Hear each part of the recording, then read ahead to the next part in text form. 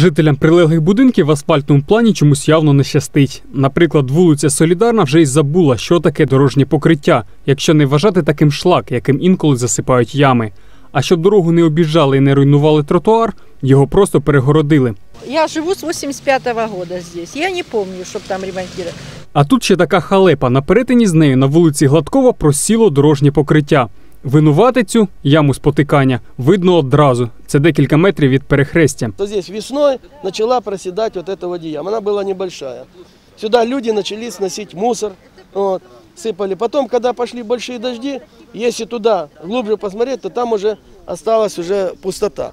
Потому что вода куда-то уходит она.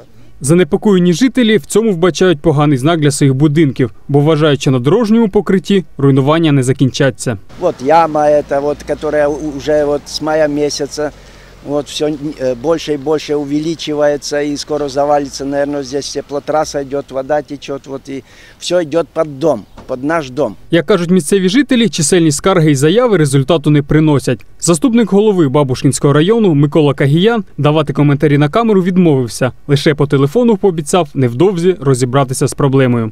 Сергій Філіпов, Андрій Лисенко. Новини 9 каналу.